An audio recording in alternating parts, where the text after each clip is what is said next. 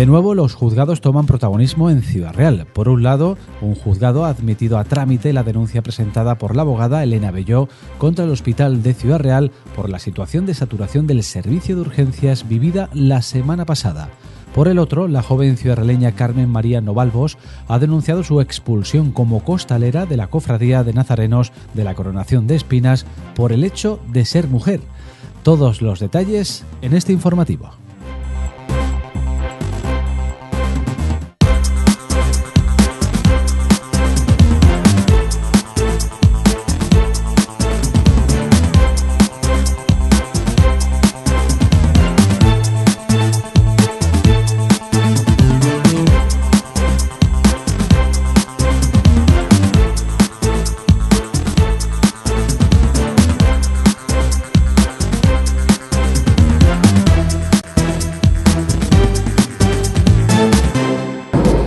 Informativos con Kiko Fernández.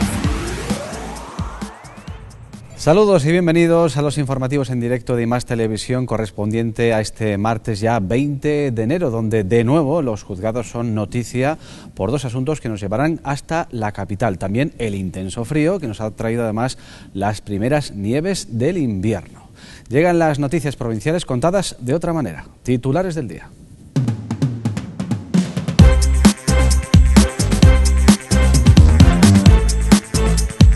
La socialista Blanca Fernández asegura que las listas de espera sanitarias se han incrementado un 42% y todo gracias a cuatro años desastrosos de Cospedal. Los nuevos capataces de la humilde cofradía de nazarenos de la Coronación de Espinas de Ciudad Real expulsan a una costalera por el hecho de ser mujer. La joven lo ha denunciado. El Consejo de Administración de Fertiberia nombra a Javier Goñi del Cacho nuevo presidente de Fertiberia, responsabilidad que comparte con la de consejero delegado. Y es martes y una semana más, si busca empleo o quiere mejorar el que ya tiene, no se pierda Infoempleo.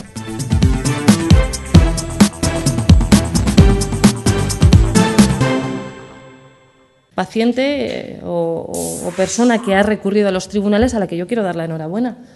A la que quiero dar la enhorabuena porque entiendo que con este gesto de acudir a los tribunales está defendiendo los derechos de todos los pacientes que se están encontrando sistemáticamente en la misma situación en las urgencias, en las urgencias y en las listas de espera. Por tanto, eh, quiero dar la enhorabuena a esta persona, a esta abogada de Ciudad Real que ha querido echar para adelante, entiendo, no solo defendiendo una situación puntual como era la suya, sino un poco como baluarte o bandera de una situación lamentablemente generalizada en el Hospital de Ciudad Real.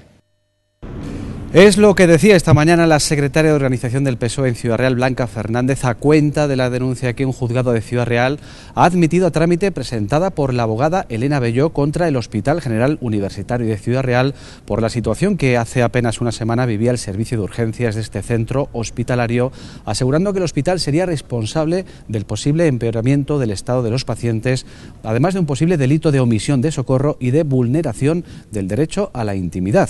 La abogada asegurada ha asegurado que en estos momentos trabaja ya en recabar todas las pruebas que pueda aportar al juzgado e incluye testimonios de familiares y pacientes, además de documentos gráficos. En su denuncia, Elena Belló explica que durante el 13 de enero en los pasillos del Hospital General de Ciudad Real llegaron a permanecer cerca de 60 personas, entre ellas su madre, que ingresó en urgencias con una infección de bronquios.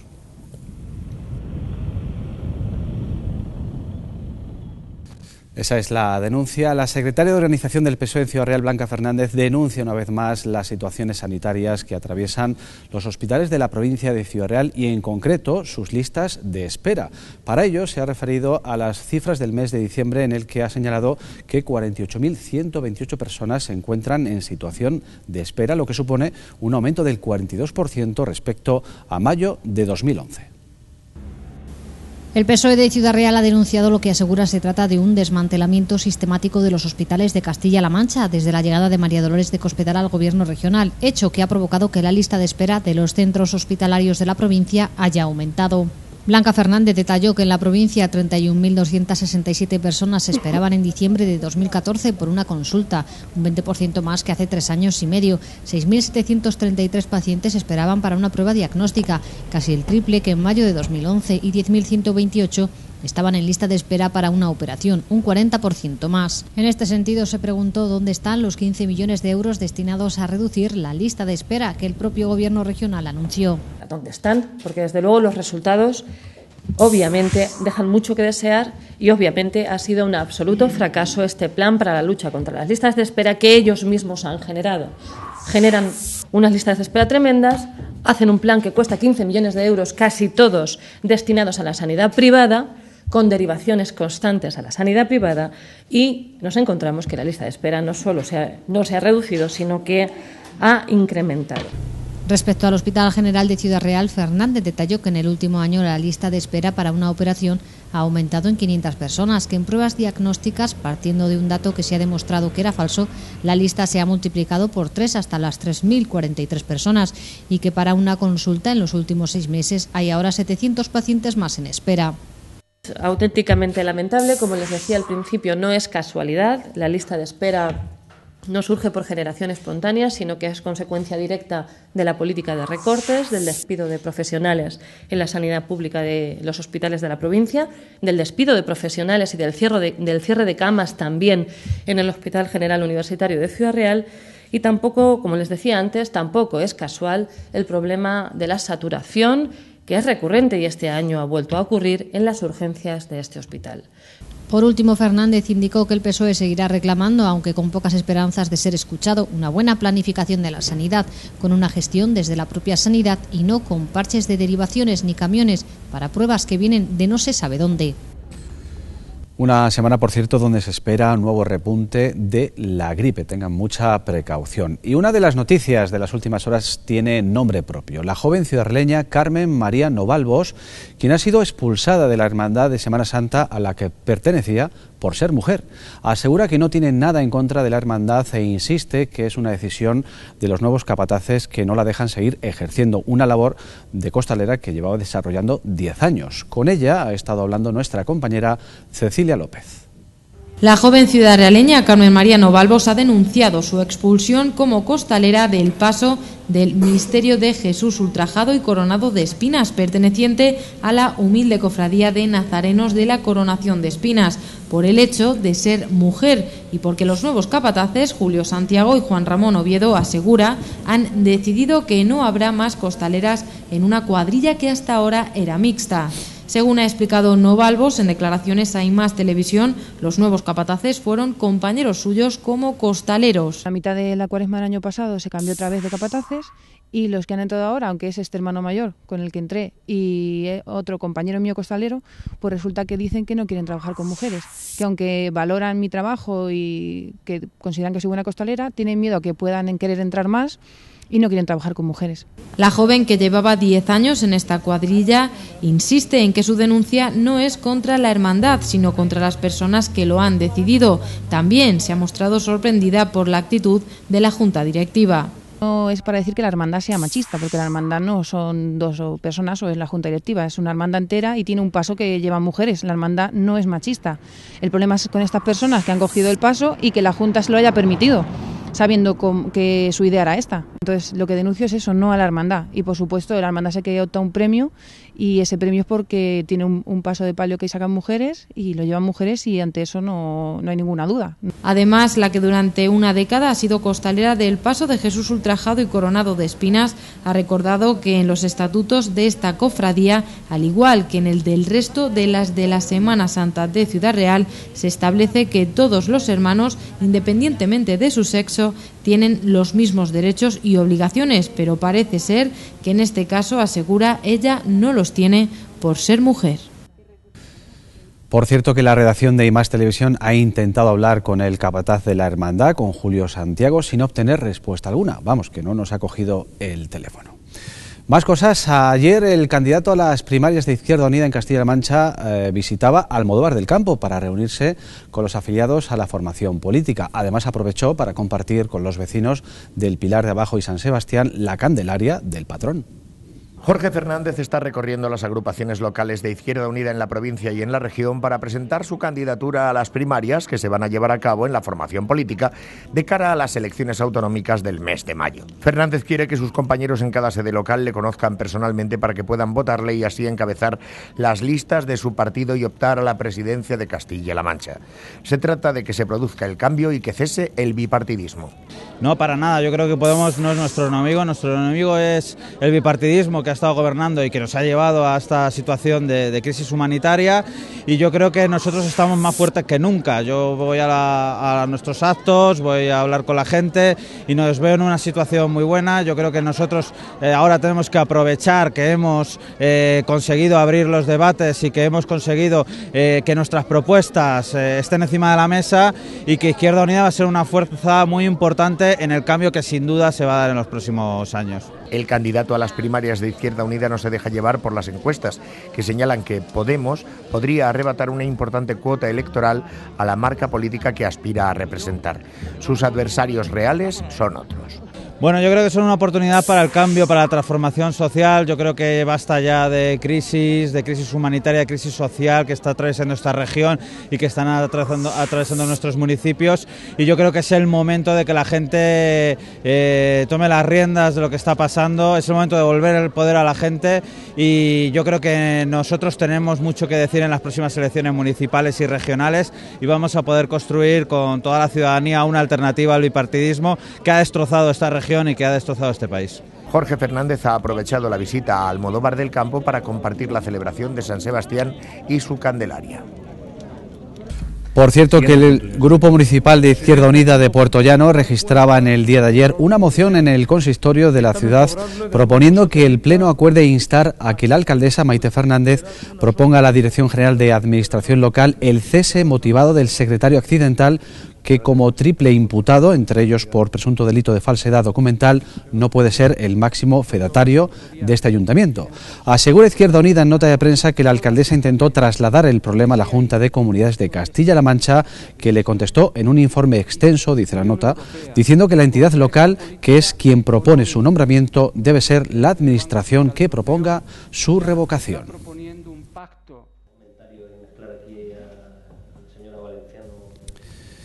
Nos hemos ido en busca de su portavoz municipal, Agustín Pérez Motilla, así nos lo explicaba. Hay más televisión.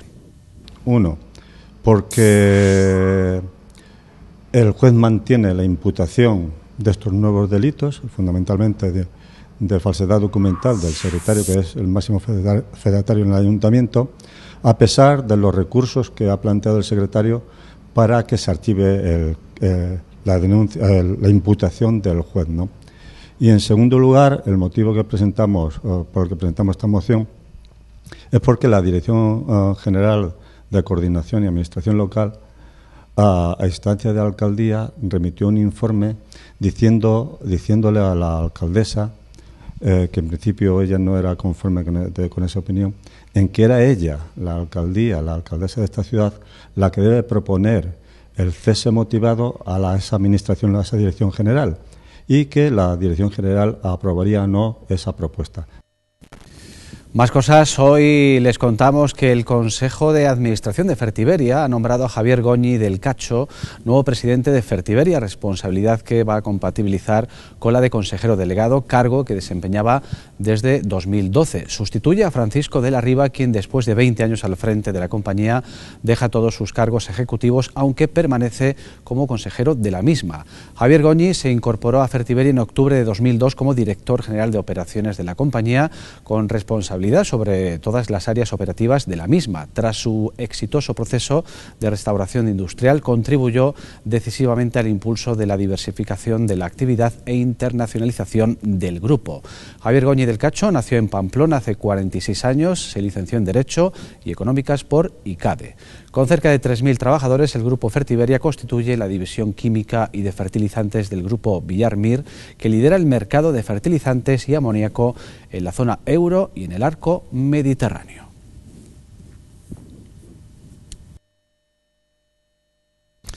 Afortunadamente ya se están poniendo en marcha en muchos municipios diferentes planes de empleo. Es el caso de Daimiel, donde la Concejalía de Empleo pone en marcha el tercer plan de empleo municipal. Con un presupuesto de 150.000 euros se va a contratar a 48 personas que van a realizar obras y servicios para el ayuntamiento. La concejal de empleo de Daimiel, María Dolores Martín de Almagro, ha anunciado la convocatoria de un nuevo plan de empleo municipal según explicaba la se trata de la tercera edición de esta iniciativa dirigida a intentar paliar la situación de las familias más castigadas por el desempleo. El dinero, la cantidad que se ha destinado para este plan de empleo son 150.000 euros en principio, lo que dará lugar a la contratación de 48 personas durante tres meses, eh, reservando un turno para personas con discapacidad para cuatro personas con discapacidad. Los proyectos que hemos eh, programado para este plan de empleo la concejal explicaba que las unidades familiares sin ingresos tendrán prioridad absoluta en la adjudicación de estas plazas. Establecemos una prioridad absoluta eh, a la hora de seleccionar al personal, que son las unidades familiares sin ingresos. Motivos de exclusión, entre otros, los más significativos, pues si el ingreso de la unidad familiar es superior al salario mínimo interprofesional establecido en 648,60 una vez si haya arrestado hipoteca o alquiler. También siguen excluidos menores de 25 años sin cargas familiares y también aquellas personas eh, que hayan trabajado en el ayuntamiento y que no hayan transcurrido 90 días desde la finalización de su contrato y si haya un ingreso en la familia, por mínimo que sea. El plazo de presentación de instancias será desde el 21 al 31 de enero, aunque las solicitudes ya podrán recogerse en el ayuntamiento.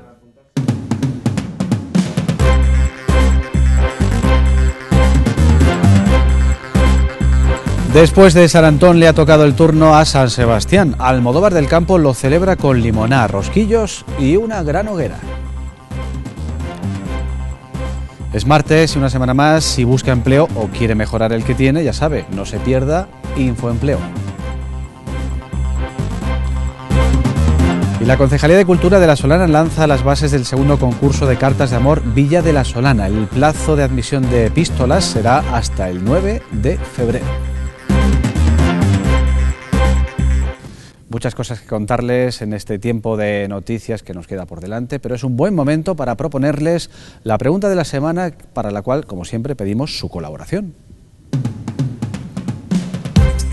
A cuatro meses de las elecciones, ¿tiene usted decidido su voto? Esta es la pregunta de la semana. Respuestas, ya saben, inmediatas a pregunta Esperamos su colaboración.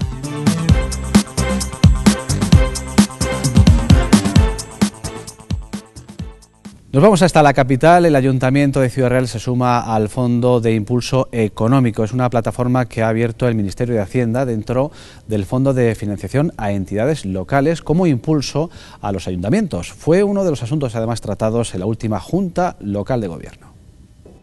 Una plataforma que, tal y como ha explicado Martín, contiene una serie de medidas de apoyo a la financiación, como mayor acceso al crédito en condiciones más ventajosas, para que los consistorios sean motor del crecimiento. Pero dentro de esa ayuda que se va a hacer a esos ayuntamientos que están en esas dificultades, que no es el caso del Ayuntamiento de Ciudad Real, que cumple con el periodo medio de pago a proveedores, que cumple con su techo de gasto y que cumple con todas las condiciones que establecían los créditos ICO anteriores, los créditos que habíamos pedido del plan de, plan de pago a proveedores, pero también incluye ese nuevo fondo unas mejoras sustanciales en la financiación que podía tener por parte de los, préstamos que tiene actualmente. El portavoz ha anunciado que también ha dado el visto bueno a una serie de propuestas de gastos para actividades municipales para los colectivos de mayores e infancia. Concretamente se han aprobado 9.968 euros para el programa de actividades del área de mayor, de enero a mayo de 2015, en el que participan más de 3.000 personas, y otra partida de 800 euros para la programación infantil del Club de los Viernes, también hasta mayo para 150 niños y niñas de 3 a 12 años. Por otro lado, también ha sido aprobado el gasto para el Domingo de Piñata. Destacar, destacar los premios del Arlequín de Oro y los 6.000 euros y los más de 8 premios en categorías nacionales. En total, tanto para el concurso local de Murgas como para el premio, el premio especial del, del Ayuntamiento de Ciudad Real del Premio Domingo de Piñata en las cuatro categorías, tanto categoría nacional, categoría local, categoría infantil y categoría de comparsas. En total son 25 premios con 21.500 euros. Por último, se ha aprobado ceder temporalmente una zona de 3.000 metros cuadrados en el Parque Industrial Avanzado, atendiendo así a la petición efectuada al Ayuntamiento por la Asociación Provincial de Empresarios de Autoescuela para realizar prácticas de conducción y estacionamiento en esta zona. Nos vamos hasta Almodóvar del Campo, que sigue celebrando su ciclo anual de candelarias con las que celebra los distintos patrones de los barrios y la devoción popular hacia sus santos principales. Después de San Antón le ha tocado el turno a San Sebastián, este año con una reliquia del patrón de Europa. Los barrios del Pilar de Abajo y San Sebastián han celebrado la festividad de su patrón con muchos actos y sobre todo una gran candelaria en la que no han faltado vecinos y vecinas de toda la localidad, así como de poblaciones cercanas. Limoná, rosquillas y aperitivos eran el obsequio de una asociación que ha vuelto a recuperarse y a encontrarse a sí misma. La Hermandad de San Sebastián acogía este año una reliquia del santo que ha llegado de un convento de Toledo para quedarse. Sí, porque la, verdad es que el Almodóvar del Campo, en concreto la ermita San Sebastián, data del siglo XV, con lo cual de ahí imagínate pues todo lo que lo que yo conlleva todos los años que se está venerando San Sebastián, pero bueno, además ahora pues una fiesta que digamos popular, donde bueno pues no falta de nada, sus fuegos artificiales, banda de música, y bueno, son dos días importantes, hoy que se celebra el Candelaria, y mañana el Día del Santo con procesión y función. Por mediación de un carmelita de Almodóvar del Campo nos han cedido un poquito del FEMU y bueno, pues para que esté con, nosotros y eso ya digo inmenso porque San Sebastián es una de las veneraciones más importantes que hay en, a nivel mundial, además es el patrón de Europa y que en Almodóvar del Campo tengamos un poquito de, de ese cuerpo de San Sebastián, pues es impresionante. A pesar del frío de la noche, el rescoldo de la hoguera se concitó la presencia de numeroso público para presenciar también los fuegos artificiales que alegraron una noche previa a los actos religiosos. El primer edil almodovareño se acercó a compartir la celebración con el vecindario. Pues la verdad que sí, Almodóvar es pueblo de fiesta y mira, la prueba evidente es que fíjate las temperaturas que tenemos y la gente que lunes además, fíjate el lunes y la gente que está participando de esta, de esta Candelaria y mañana, evidentemente, del día, San Sebastián. Eh, es un barrio que lo festeja, este es el barrio, el barrio, del Pilar de Abajo, como siempre se ha dicho, y el barrio de San Sebastián, pues hay mucha gente que participa con, con todos nosotros y es el ciclo de Candelarias que tenemos en Almodóvar. San Sebastián volverá a su ermita una vez transcurridos sus días de celebración en la ciudad. Día de fiesta, de devoción y de mucho frío. Enseguida, como cada martes, tenemos Infoempleo, que es nuestro espacio de puestos de trabajo, de ofertas laborales. Hablando de trabajo, hoy les contamos que el hipermercado El Eclair de Puerto Llano ha comenzado a publicar ofertas de trabajo en el portal del Sistema Nacional de Empleo. Se trata de los puestos de jefe de sección de mantenimiento, jefe de sección de línea de caja, jefe de sección de textil, calzado y jefe de sección de informática. Se requiere experiencia de 36 meses y estudios mínimos de bachillerato o FP2. Todos los candidatos deben presentar el currículum vitae en la oficina de empleo de Puerto Llano hasta el 23 de enero. Hasta el 23 de enero. Las obras de construcción del futuro hipermercado Leclerc en Puerto Llano siguen desarrollándose con normalidad, como pueden ver en estas imágenes. El proyecto tiene un coste de unos 15 millones de euros y se desarrolla sobre una superficie de 14.000 metros cuadrados.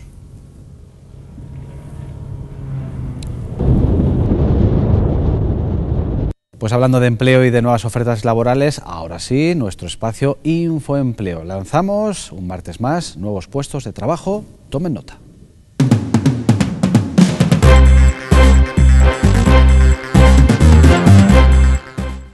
Buscamos comercial venta telefonía.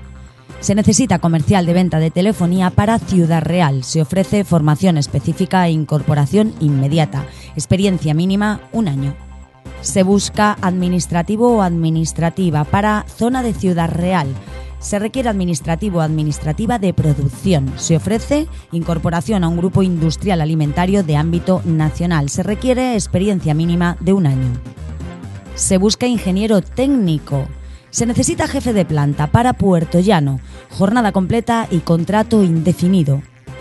Buscamos delegado comercial. Se requiere delegado comercial para Ciudad Real, experiencia mínima al menos de dos años y se ofrece jornada completa y contrato indefinido.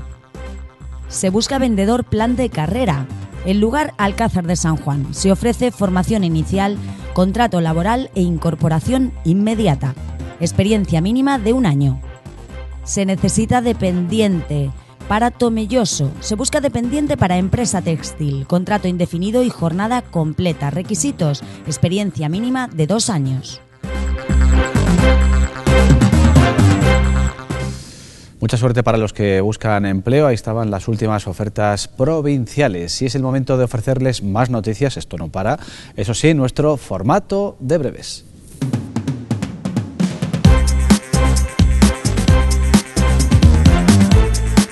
El filólogo y catedrático de literatura Manuel Alberca ha sido galardonado con el premio Comillas 2014 por su obra La espada y la palabra, la vida de Valle Inclán, al considerar el jurado que es una biografía presidida por la solvencia, rigor y ambición y que aspira a ser canónica.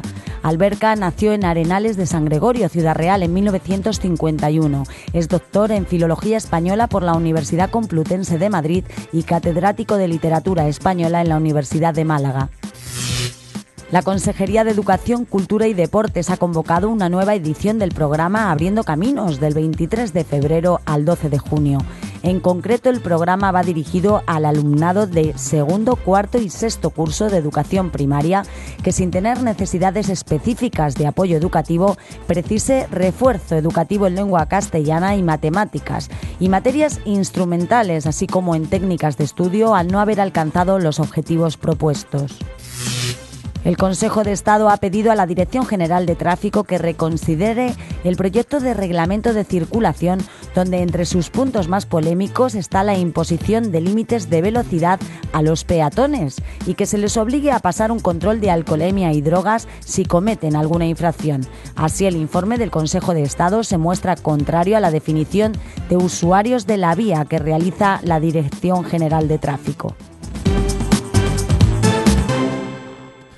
Algo menos de un mes para que llegue San Valentín, que es el patrón del amor. Bueno, la Concejalía de Cultura de La Solana ha presentado ya las bases del segundo concurso de cartas de amor Villa de La Solana, abriéndose el plazo de admisiones de epístolas hasta el próximo 9 de febrero. Todas las cartas recibidas se leerán en, una emisora municipal, cuya audiencia además también otorgará un premio especial a los tres, eh, tres mejores cartas que lleguen y que hablen, y por supuesto, de amor. El concejal de Cultura, Luis Romero de Ávila, ofreció todos los datos sobre las bases a través de rueda de prensa, indicando que se vuelve a convocar este certamen literario, que muchos estaban esperando tras el buen gusto que dejó su primera edición a los amantes de la palabra escrita. Volvemos nuevamente con una historia que ya el pasado año resultó ser del agrado de muchos amantes de la palabra escrita. Se trata del segundo concurso de cartas de amor Villa de la Solana, como se denominó en un principio. Me consta que son muchas las personas que esperan la aparición de estas bases para volver nuevamente a probar fortuna en la magia de los sueños, que se hacen amor cuando nos dirigimos a la pareja que tenemos a nuestro lado, a nuestros hijos, a nuestros nietos, a los abuelos, etcétera, todo cabe.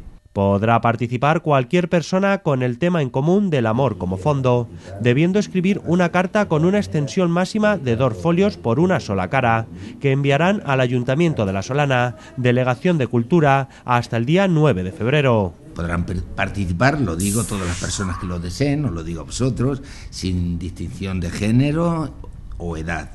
El tema será relacionado con el amor. La extensión máxima de la carta será de dos hojas, tamaño DIN, A4, por una sola cara. Las cartas se presentarán firmadas por un lema y acompañadas por un sobre donde figurará el mismo lema que en el trabajo. Las cartas se enviarán al Ayuntamiento de La Solana, Delegación de Cultura, indicando en el sobre concurso de cartas de amor. El plazo de admisión para estas cartas finalizará el 9 de febrero. Se establecerán tres premios que serán fallados por un jurado concreto, aunque también habrá otro premio especial que otorgará la audiencia de Radio Horizonte.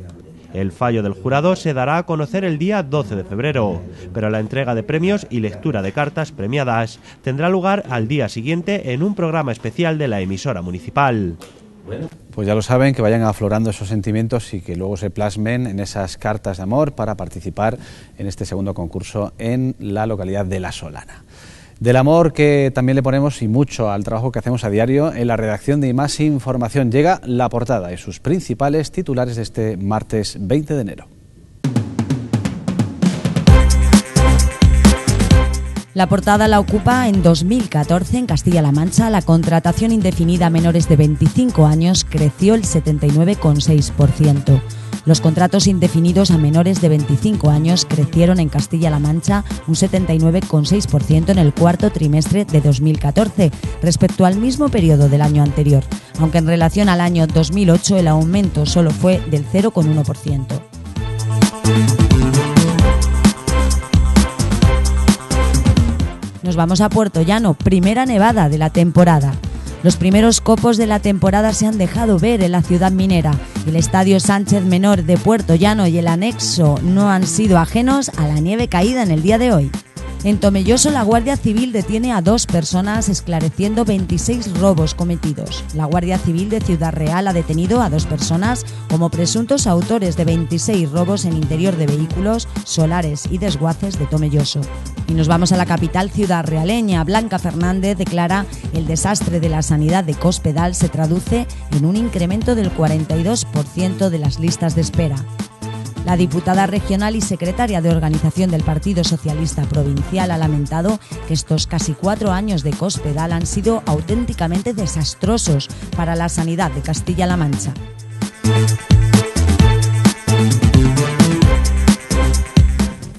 De la información digital vamos a por la foto digital. Llega el momento de la imagen del día. Ya saben que pueden participar con nosotros. La dirección a la que nos tienen que remitir sus imágenes favoritas, la de siempre. Fotos arroba imastv.es. Vamos con la imagen de hoy. Nos la ha enviado Aurelio Manrique Hogueras, en este caso desde Almodóvar del Campo, celebrando ayer su día grande, en honor a San Sebastián, además con mucha gente que concitó el calor de esa gran hoguera.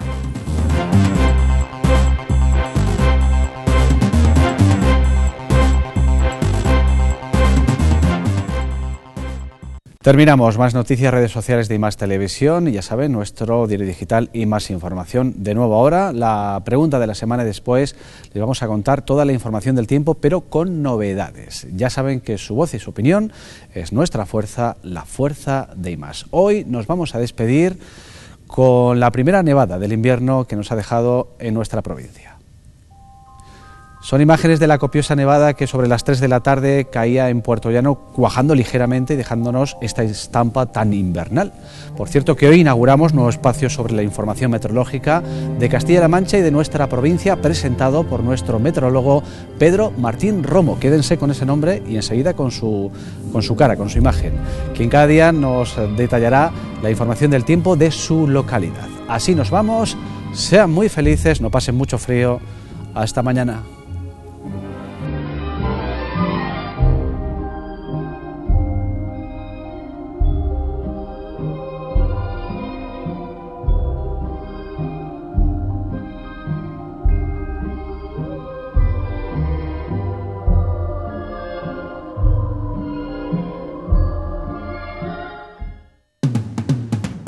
A cuatro meses de las elecciones, ¿tiene usted decidido su voto?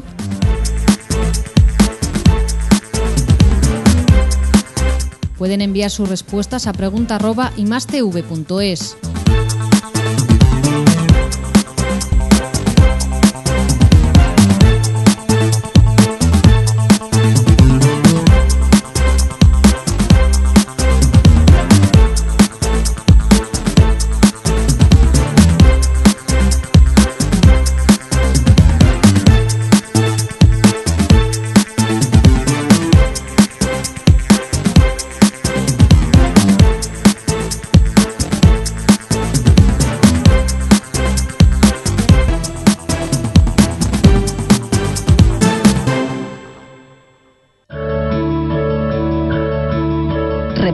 ofrece el tiempo.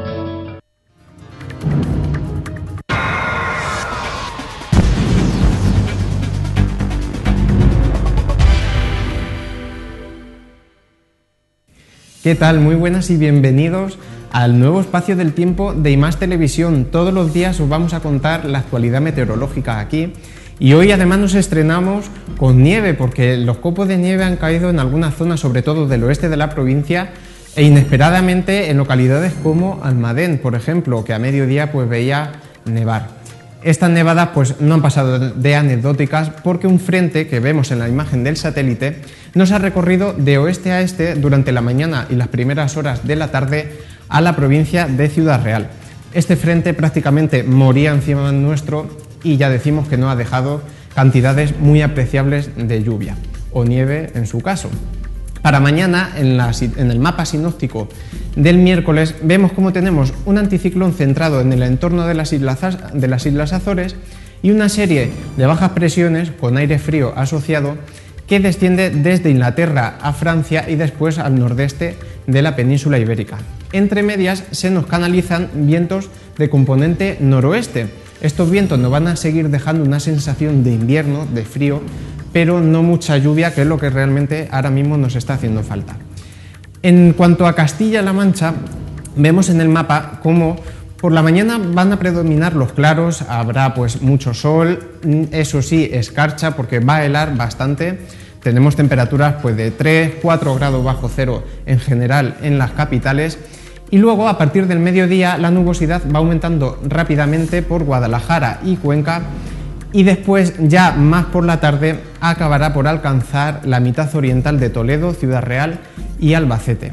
Las precipitaciones sobre todo se van a centrar en la mitad norte, en Guadalajara y en Cuenca. Además, la cota de nieve por allí será de unos 800-900 metros, con lo que puede ser que en Cuenca capital se vea la nieve de nuevo otra vez. En el resto, pues ya decimos un ambiente muy inseguro, a partir de la tarde pueden caer algunos chubascos débiles, pero en general no van a ser grandes precipitaciones. Las temperaturas máximas pues se van a mantener sin muchos cambios, en torno a unos 7, 8 grados se rondarán en la mayoría de las capitales castellano-manchegas, exceptuando Cuenca que a lo mejor no va a pasar de los 3 o 4 grados con esa posibilidad de chubascos de nieve. Ahora ya sí nos vamos a centrar en Ciudad Real. Primero vamos a ver la situación en Ciudad Real capital para mañana miércoles. Tendremos una mañana pues, con el sol predominando, con mucho hielo, eso sí, habrá que rascar seguramente los coches porque se va a formar escarcha y es que preveemos una mínima de unos 3 grados bajo cero, incluso a las afueras, en la zona de la Poblachuela, se podrían bajar hasta los 4 grados bajo cero. Después, a partir del mediodía, el cielo se va a nublar y por la tarde va a haber algunos ratos de sol, pero van a predominar más las nubes. Las temperaturas máximas se quedan en unos 7 grados y como decimos, no descartamos, va a estar la tarde un poco insegura que caiga alguna gota, en cualquier caso, nada que destacar. Pasamos ahora a la ciudad de Puerto Llano, en donde el panorama pues, va a ser muy parecido a la capital.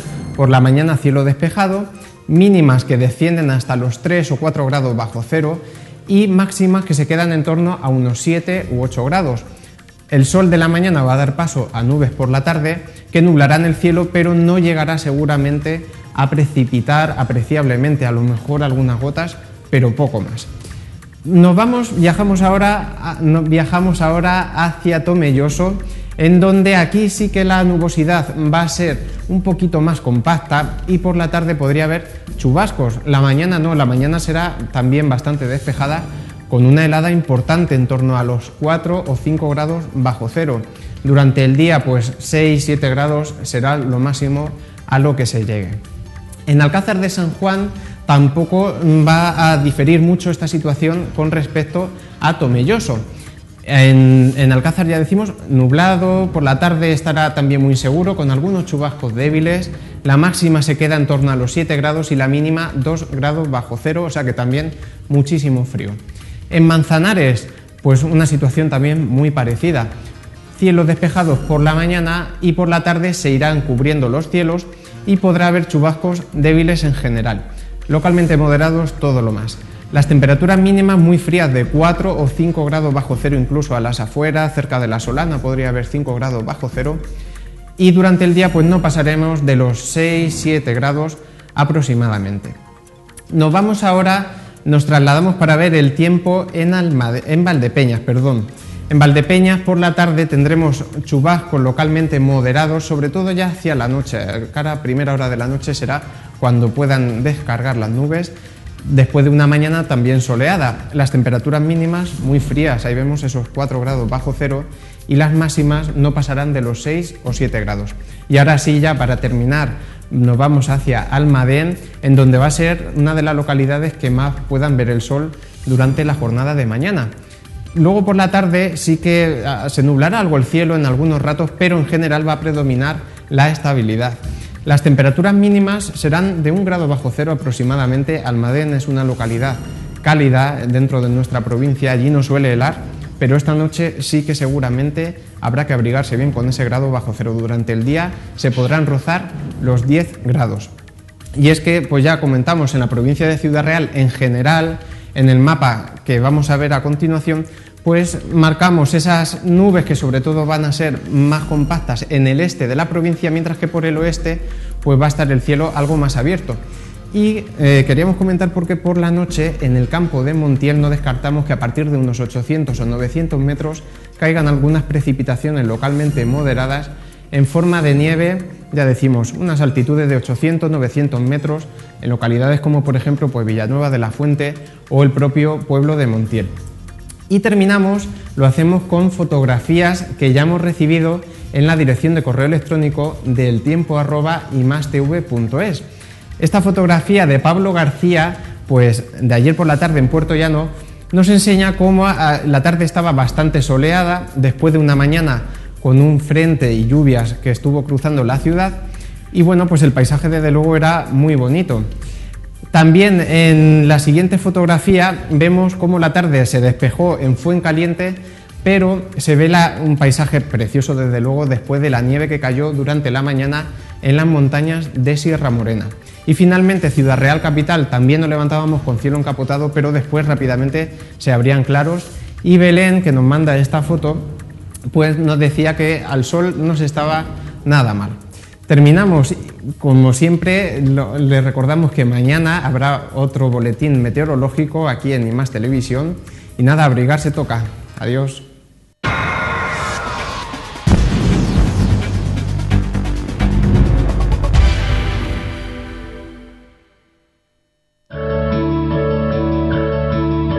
Repsol te ha ofrecido el tiempo.